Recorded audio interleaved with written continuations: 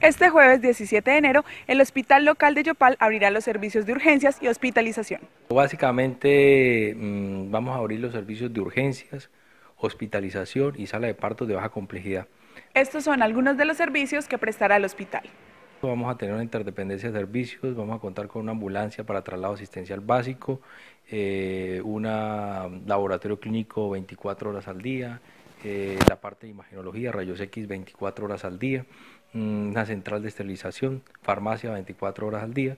De toda la capacidad instalada que vamos a tener son 16 camas en observación de urgencias, 10 camas en observación obstétrica y 27 camas en internación.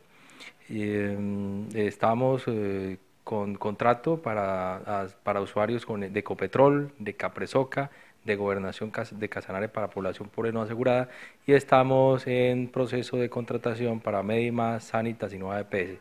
Sin embargo, si llega algún usuario de alguna otra EPS, pues eh, se hace la atención inicial de urgencias, se tramita pues su autorización o su remisión o traslado a otro centro asistencial de acuerdo a lo que eh, refiera la EPS a la cual está asegurado el usuario. Nosotros vamos a trabajar, tenemos unas reuniones eh, para eh, anclar esto con el Hospital Regional de la Orinoquía, con la Clínica Casanare.